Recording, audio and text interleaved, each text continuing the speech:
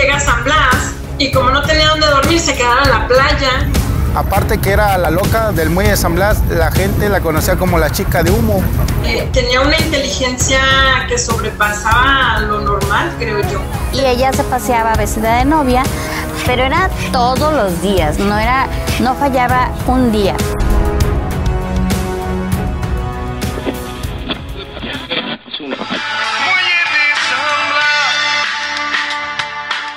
Definitivamente han pasado muchos años desde que esta emblemática canción del grupo Maná quedara grabada en los corazones de muchas personas a nivel mundial. Pero ¿qué se esconde detrás de esta historia? ¿Es realmente cierto todo lo que se dice ante esta canción? ¿O será acaso que hay algo más que no conocemos de esta enigmática mujer del muelle de San Blas? Es por eso que el equipo de TV Azteca Jalisco inició una investigación especial y nos trasladamos hasta el mismo puerto de San Blas para aclarar todas estas dudas y conocer más acerca de este enigmático personaje.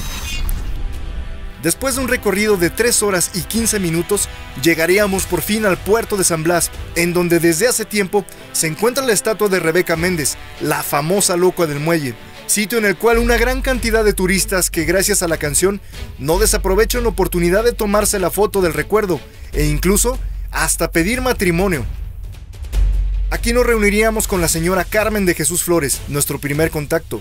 Ella nos platicó que en varias ocasiones tuvo la oportunidad de ver a Rebeca Méndez deambular por el muelle al lado de su amado, el cual no se trataba de un marinero como dice la canción, sino que era un habitante muy querido de la zona conocido como Laos, Carmen nos relataba cómo ellos dos se veían muy felices y contentos, siempre tomados de la mano.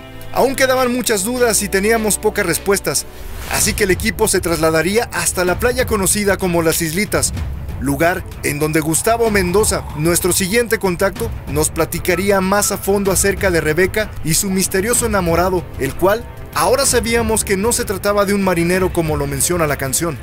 La señora aquí convivía, la gente la conoció, como te repito, la señora en el puerto le decíamos la chica de humo. Aparte que era la loca del muelle de San Blas, la gente la conocía como la chica de humo, porque ella tenía una relación con otra persona que vendía este, fayuca ahí en el parque, en la cual el señor se llamaba Laos, en paz descanse, él tenía una relación con ella. Eh, ella, cuando murió su, su pareja, que era Laos, este, ella se dedicaba a tejer vestiditos, a la cual a unas muñecas se los ponía y abajo les ponía un papel sanitario. ¿sí? Y de esa manera ella sobrevivía y existía. Y yo tuve el gusto de conocer a la señora Rebeca, en la cual me tocó verla ahí en el muelle de San Blas. Yo cuando la conocí tenía entre 10 y 12 años y después cuando yo trabajaba trabajando en el muelle, ahí en el muelle de San Blas me tocó conocerla Iba de 6 de la mañana, de 6 a 7 y en la tarde de 6 de la tarde a 7 de la noche. Aquí la contradicción que hay ahorita entre la historia, mucha gente dice que no es verdadera, otros dicen que sí.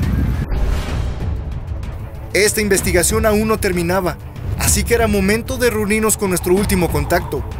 Cabe destacar que para llegar a él, el equipo tendría que trasladarse vía lancha haciendo un recorrido a través de la Tobara, y después de casi tres horas de viaje, nos reunimos con Vianey Frías, una residente de la zona, quien ante las cámaras de TV Azteca Jalisco nos revelaría un secreto que muy pocas personas conocen acerca de Rebeca Méndez.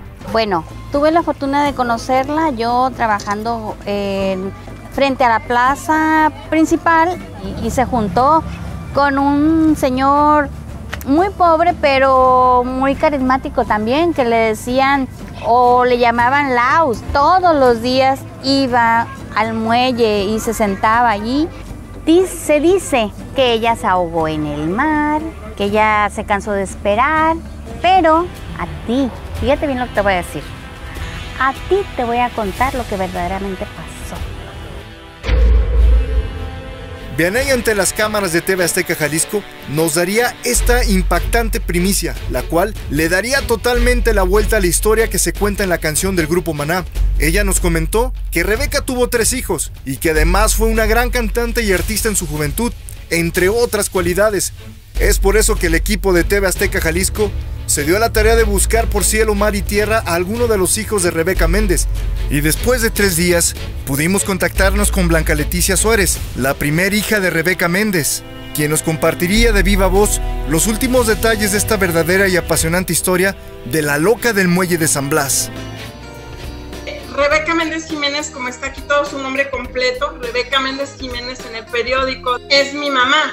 Ella nació en 1943, el 26 de junio de 1943, en la ciudad de Guadalajara, Jalisco. Eh, tenía una inteligencia que sobrepasaba lo normal, creo yo. Terminó la carrera de cinematografía, mi mamá estudió cinematografía, pero eso ya fue ya que en México. Este, mi mamá cantaba muy bonito, tenía muy bonita figura y la querían hacer famosa. En, en los 85, principios del 96, llega a San Blas y como no tenía dónde dormir, se quedaba en la playa. Entonces, imagínate una mujer hermosa, con bonito cuerpo, pues estaba en la playa y llamaba mucho la atención. Entonces conoce a un surfista casi 20 años menor que ella. Wow.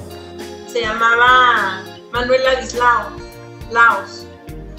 Entonces le dijo, ¿sabes qué? Nos, nos, vamos a casar, ahora sí nos vamos a casar te voy a llevar allá a, a, mi casita porque ya... Entonces le dijo, pero voy a ir a comprar este material, o sea, llegaba eh, juguetes y cassette, discos que en ese tiempo todavía se usaban.